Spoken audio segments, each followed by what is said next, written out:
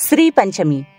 यह व्रत चैत्र शुक्ल पंचमी को किया जाता है। इसलिए तृतीया को संपूर्ण स्नान करके शुद्ध वस्त्रादि धारण कर व्रत का संकल्प करे।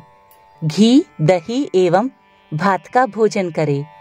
चतुर्थी को स्नान करके व्रत रखे और पंचमी को प्रातः स्नान आदि के पश्चात लक्ष्मी का पूजन करे। पूजन में धान्य, हल्दी, अदरक, गन्ना गुड़ और लवण आदि अर्पण करके कमल के पुष्पों का लक्ष्मी सूक्त से हवन करे।